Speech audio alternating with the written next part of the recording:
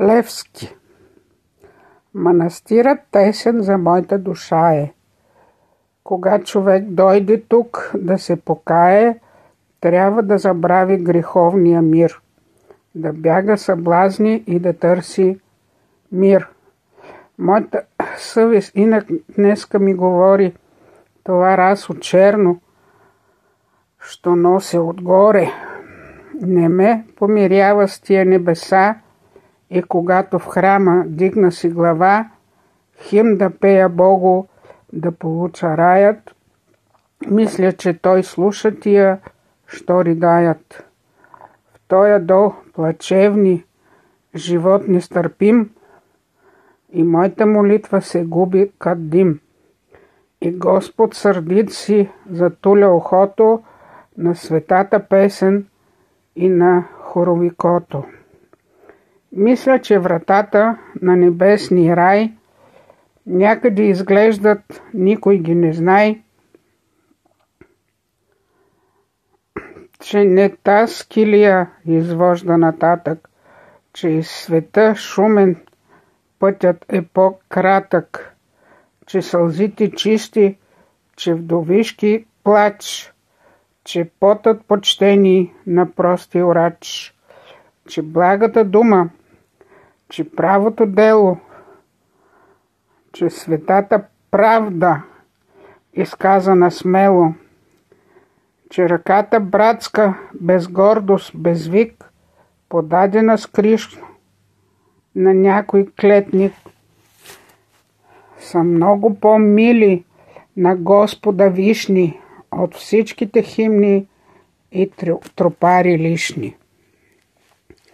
Мисля, че човекът тук, на този свят, има един ближен, има един брат, от кои се склетва монахът отказа, че цел по-висока Бог ни тук показа, че не с това расо и не с тази брада могат да отмахна някоя беда. От оня, що страда, мисля, че канонът мъчно ще направи да замлъкне стонът, че ближни ми има нужда не в молитва, а в съвет и помощ, когато залитва.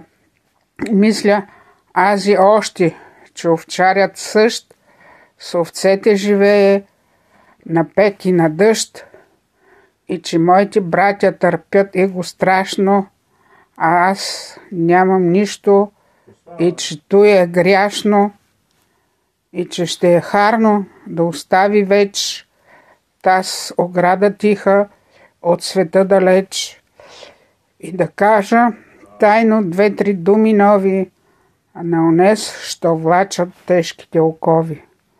Рече и излезе. Девет годин той скита се бездомен, без сън, без покой.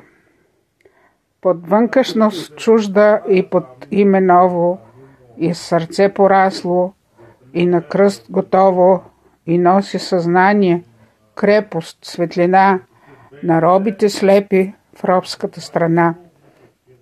Думите му бяха и прости, и кратки, пълни с упование и надежди, сладки. Говореше често за бунт, за борба, като за една ближна обща веселба, часът на която беше неизвестен. Изпитваше кой е сърцат, сиреч честен, участник да стане в подвига свят.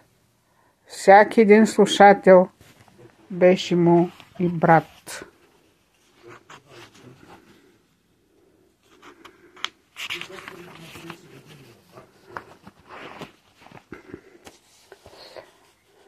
В бъдещето тъмно той гледаше ясно. Той любише своето отечество красно. Той беше скиталец и като дете прост, и като отшелник живееше в пост. Горите, полята, познати му бяха.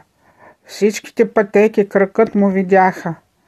Пустинята знаеше неговия глас. Хижата го знаеше и на всеки час вратата и за него отворена беше.